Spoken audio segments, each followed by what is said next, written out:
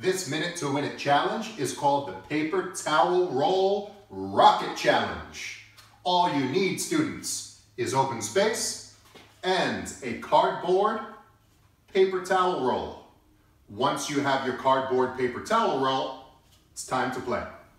During this challenge, you need to strike the paper towel roll into the air and then catch it with one hand.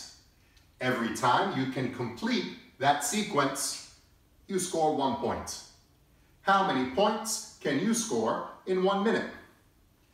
During this Minute to Win It challenge, teacher versus student, Mr. E has one minute on the timer.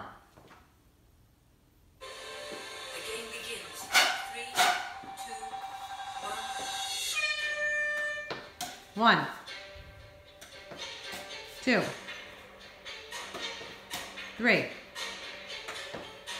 four, five, six, seven, eight, nine, Make sure you're catching with Ten. one hand only. eleven, twelve, thirteen, fourteen, fifteen,